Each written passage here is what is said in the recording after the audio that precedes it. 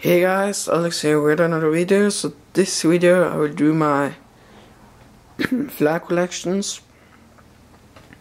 So I built three flag and it's just one of it. The biggest one. We had the Norway flag there there I come from.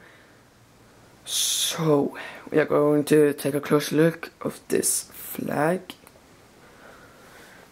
So Yep. We are taking it very slowly because it is very big.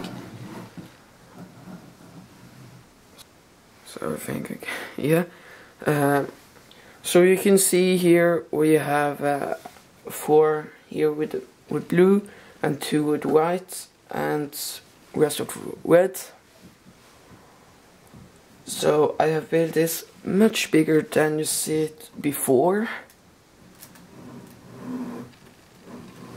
I think I must hold with both hands so it's not so not destroyed.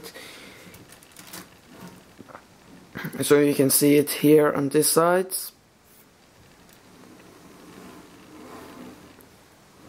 And on the back side, you can see it. Yeah. So I have do some plates up and down with this flag up here. Uh, if I can take one off so you can see.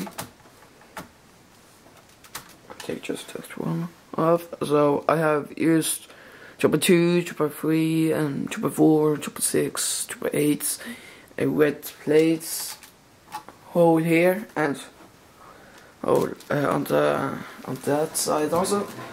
So that was the Norwegian flag. We are going to take it very slowly. Yep, here we go. Uh, so the second flag is not so big or a little bit little. So we have the Denmark flag here. And so the Denmark flag, you can also see it's four here, up here, and the red uh, all these plates places. And the same with the plates under and up here.